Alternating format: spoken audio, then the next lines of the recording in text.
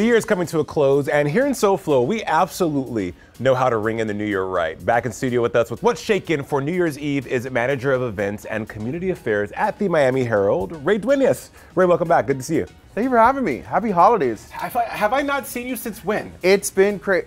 Before Halloween, since uh, summertime. Summertime. Wow, time flies. Yes, yes, 2022 gone. Gone. 2023 around the corner. Miami rings How are we bringing it in? We are we are kicking it off at where 11. Cardi B was at Art Basel, had a performance. Gonna have another one. Cardi B Offset's gonna be at 11. Two nights before, Tiesto's there. Kicking in the new year with Cardi B. Table. we have tables. We have single admissions. It's gonna be a great time. a great time. We're all okay, I'm going to be at the Fontainebleau because uh, you have Marshmello Khaled turning it up. turning it up. Got every year Fontainebleau kind of does something different, something new, but there's always entertainment. There's general admission, there's food, there's premium cocktails, there's cabanas, and there's what? An option to bring in your family.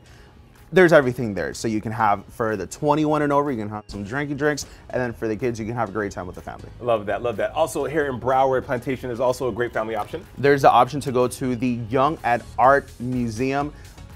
Something new that's happening, it's bringing the New Year's Eve. So in case you have kids that don't really want to stay up till midnight, there's an option to do it during the day, tuck them in, have a great time.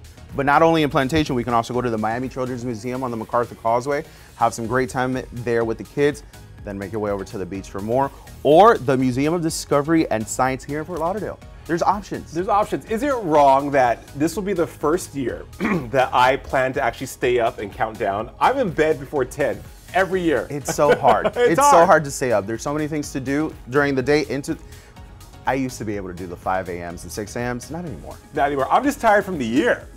you know, a- it's, it's, and it's, what it's a a year it's been. culmination.